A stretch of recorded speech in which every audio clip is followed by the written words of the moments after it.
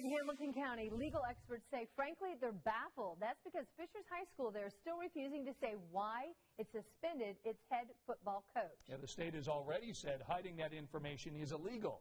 Our senior investigative reporter Bob Segall explains how the school is ignoring the state and the law and sticking with its secret.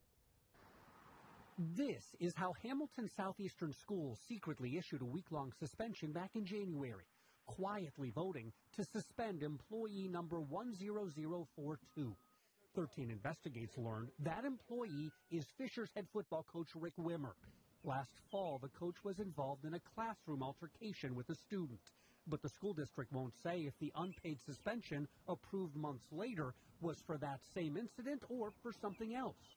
HSE kept those facts a secret, even though Indiana law requires public schools to release that information. So Eyewitness News filed a complaint with the state's public access counselor. He confirmed the school district is obligated to provide more facts, and he urged HSE to do that.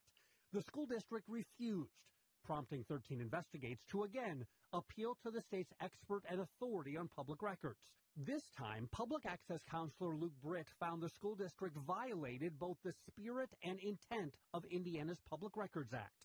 But rather than obey the law, HSE has since doubled down on keeping it secret.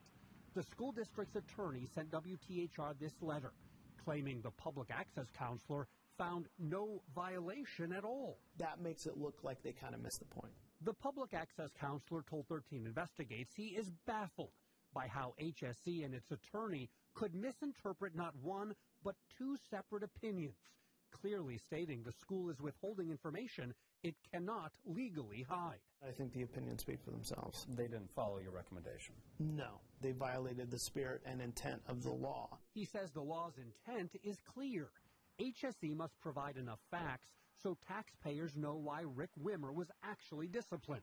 After all, those taxpayers are paying for the coach's salary. I certainly made a strongly worded recommendation to provide more detail in that factual basis, but they chose to go a different direction. And it seemed that you were somewhat frustrated by that position that they took. I was pretty clear on my expectations. When something like this happens, the public has the right to know to an extent what happened. But the mystery about Coach Wimmer's suspension has now dragged on for months, and taxpayers are footing the bill. 13 Investigates has asked the school district how much it's paid attorneys to keep this secret. So far, HSE has not released that information either. If this case goes to court, the costs will surely rise as the school district continues to hide information that the state says must be released to the public. We're still looking for answers. We've asked the school district if it will allow the public access counselor to privately review the facts of the suspension to better determine if HSE has any legitimate reason for keeping it a secret. We're still waiting for a response.